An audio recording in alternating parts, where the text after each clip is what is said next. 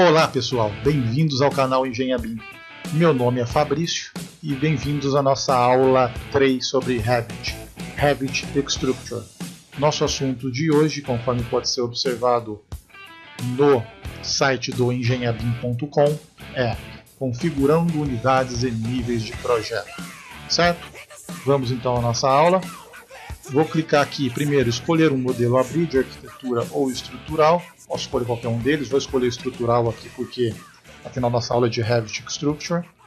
Mais para frente a gente vai ver a diferença entre eles. Tá? Primeiro, como configurar as unidades de projeto. Vamos na aba Gerenciar. Aqui nós temos Unidades de Projeto. Certo? Cliquei aqui, abriu a janelinha Unidades de Projeto. Aqui a gente configura todas as nossas unidades. Conforme vocês podem perceber, área já está em metro quadrado e volume em metro cúbico porém linear está em milímetro. Vamos alterar isso aqui para metros. Com quantas casas decimais? Duas. Perfeito? Uh, marca aqui símbolo de unidade nenhum, porque não é necessário. Ok e ok. Deixa eu voltar aqui. Vocês podem perceber que em unidades de projeto a gente tem ali entre parênteses um UN. Isso quer dizer o quê? Nada mais é do que a tecla de atalho do comando.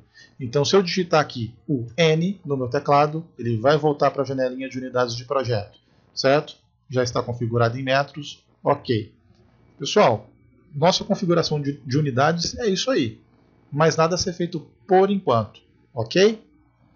Vamos agora configurar os nossos níveis de projeto.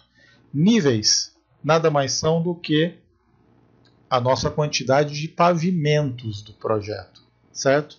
Quantos níveis, quantos patamares, quantos andares tem o nosso projeto. Tá? Por é, padrão, nós temos aqui nesse template que foi aberto, nesse modelo, o pavimento 1 e o pavimento 2. O analítico é para aula um pouquinho mais para frente. Tá? Se a gente abrir aqui as elevações, nós temos aqui as nossas elevações laterais, né, leste e oeste, e as nossas é, elevações frontais e na parte de trás. Vamos colocar aqui na parte sul. Conforme vocês podem perceber aqui, os dois pavimentos estão relacionados aqui, pavimento 1 e pavimento 2. Tá? Isso aqui é padrão. Como que a gente faz para adicionar um novo pavimento? Nós temos que vir aqui na ferramenta nível ou digitar LL. Vou clicar aqui em nível. Aqui eu tenho duas ferramentas aqui de modificar para poder desenhar. Tem aqui a linha e a selecionar linha. Vamos fazer com a linha primeiro. Primeiro, coloco o cursor por cima do nível de referência que eu quero, que no caso aqui é o pavimento 2. Venho aqui, não aperto nada, tá? só coloco em cima. Espero o snap aparecer e vou subindo aqui para 2 metros, por exemplo. Posso digitar também aqui, ó. Vem aqui, 2 metros, digito 2, Enter. Ele já adiciona meu pavimento. Tá lá, pavimento 3, 5 metros. 5 metros em referência ao zero e 2 metros com referência ao pavimento 2. Quero aumentar isso daqui?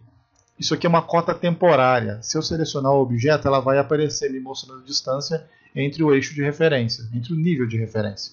Clico aqui de novo, coloco aqui 4 metros. Está lá, meu pavimento agora tem 4 metros de altura. E percebam que eles ficaram, a cor de referência aqui da simbologia dos pavimentos está em azul. Tá? Quando ele está azul, isso quer dizer que eu criei um nível e esse nível foi referenciado na minha planta estrutural, na minha planta baixa, na minha vista em 2D. Ok?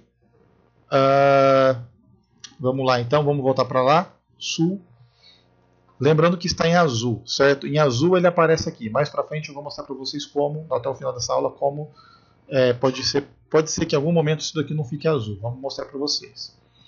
Quero adicionar mais aqui? Posso vir aqui em arquitetura ou estrutura, ela vai aparecer nas duas maneiras. Vem aqui no comando nível. Agora vou colocar aqui selecionar linha. Tá? Selecionar linha, eu escolho aqui um offset de 3 metros, certo? Coloco o cursor aqui em cima do meu nível que eu quero de referência e clico.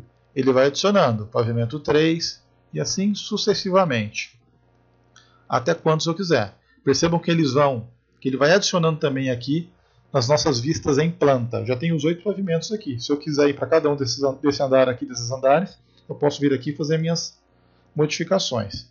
Ok? Vamos voltar lá. Aqui está norte, vamos pegar sul, que é aquela que já estava de referência. Agora, como que eu faço para poder criar um nível aqui que eu não quero referenciado em planta? Pode ser aqui, por exemplo, é um telhado, tá?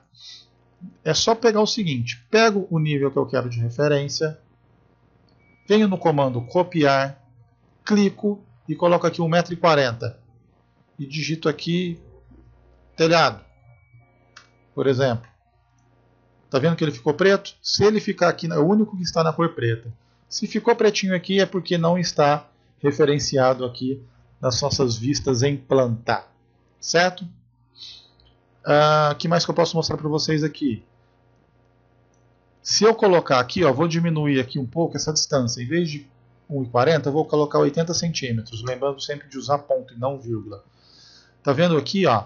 Ela ficou aqui intercalada, ficou em cima do outro aqui. Eu não quero esse, essa visualização. O que, que a gente pode fazer? Clicar aqui nesse elementinho aqui, ó, adicionar cotovelo.